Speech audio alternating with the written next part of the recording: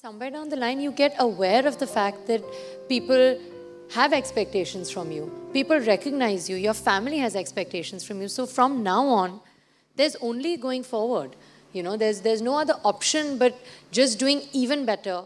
I'm very very overwhelmed to be here. I didn't expect this at all, and uh, it's really nice. So thank you so much for having me. You know, uh, university has always been very important to me and my family. It's something that my father inculcated in me very early in life. He said that education is of prime importance. But more than that, I think to find your own place in any institution is the most important. So whether it's the subjects that you do, the university that you apply to, or the essay that you write, the one piece of advice that I would impart is do it honestly and do it yourself. Because there's a reason that universities ask you to write essays. You know, I got rejected from Oxford University, which is in England, which was my dream. It was my dream school to go to Oxford, and I didn't get in. And I thought that the world was going to end that day. I, I, was, I didn't know what to do. I called my mother up hysterically crying, saying, Mom, I've gotten rejected from Oxford. I don't know what to do. And then, sure enough, you know, the Common Apps came in, and I got into Columbia. And those three years that I spent in New York, I mean, I would give an arm and a leg to do it again.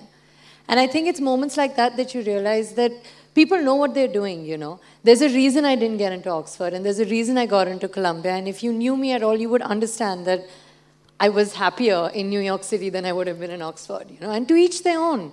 But I would definitely say that when you think about education, as important as it is, it's also very personal. So be sure and be careful to be yourself because that's the most important thing. Anyway. So when I uh, finished the 10th grade, I was almost convinced that I wanted to do medicine. But the thing is that I have like this mild tremor problem. Like if I keep my hands, you know, there's a slight tremor. So I was like, okay, I can't do surgery, so let's not do this. Let's do law. So I uh, decided to study law. So I uh, did history and political science. But then in my last semester, uh, no, my second last semester of college, I did an acting course. And I realized that as somebody that's loved studying, as somebody that till date loves reading, in a university like Columbia, in a city like New York, you know, I did courses in every field. I did history, I did political science, I did chemistry, I did math, I did economics, I did literature, I did philosophy. I did courses in so many different different things and enjoyed each and every one of them. But the rush I felt when I did theater on stage, I've, I've never felt like that. And that's when I knew what I'd known since I was a child. Because since I was four, acting has been a dream. But then I got distracted because A, I was really fat, and B, I was really nerdy. And the combination meant that I probably shouldn't act, you know, why? Might as well study.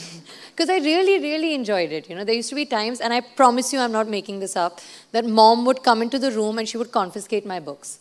Because she would say, this is not okay. You cannot do this. It's not normal. And I was, I mean, I, I would have laughed if you came to me when I was in the 10th grade or 11th grade and told me that you will be sitting in Singapore one day talking to children as an actor, I would have been like, yeah, okay, haha. But, you know, here's where I am. So, it, you know.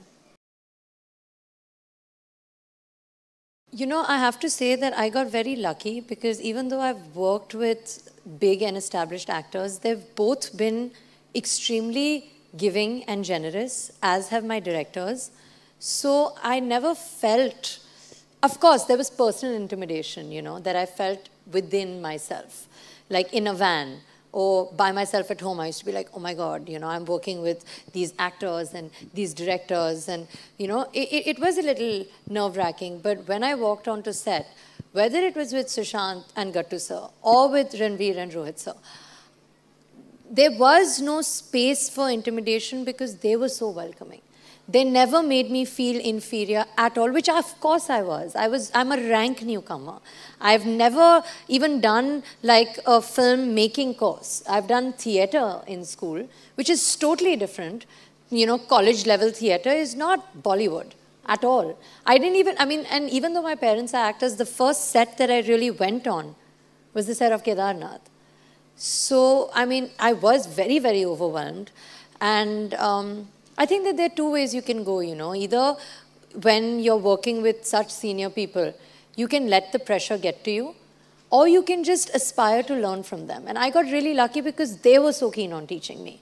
There wasn't a single day where Sushant or Ranveer made me feel like anything uncool. You know, I, I was always welcomed, always encouraged, and Gattu sir and Rohit sir were just a blast. So I got lucky. I feel that, you know, no matter which institute you belong to, I was in Dhirubhai Ambani International School. Then I was in Columbia University. Now I'm part of the Indian film industry. I feel that no matter which institution you're part of, you just have to give your 100% and you have to respect it. And once that happens, most of your job is kind of done. You know, you have to respect the books that you read. You have to respect the teacher that's teaching you. You have to respect the set that you're on. You have to respect the director that's directing you. You have to respect the same way as you respect your classmates' opinion, you respect your co-actors' reactions. And it's not very different. You know, a lot of people say that, oh my God, you know, you studied and now you're doing films and isn't it like earth-shatteringly different? And it's actually not because the stakes are extremely high. The pressure is high. You need to perform. Your performance matters. Competition matters. Not getting negative about competition matters. So actually, if anything, I look at my college and my school as a training ground for what I chose to do which a lot of people find very surprising because they were like, really? I mean, you went to an Ivy League college as opposed to dance class. So it's not really the most stereotypical training that you need.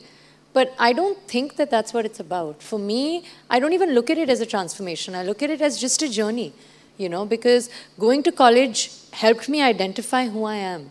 It helped me find who I am. And I think that that is the foremost important thing for an actor.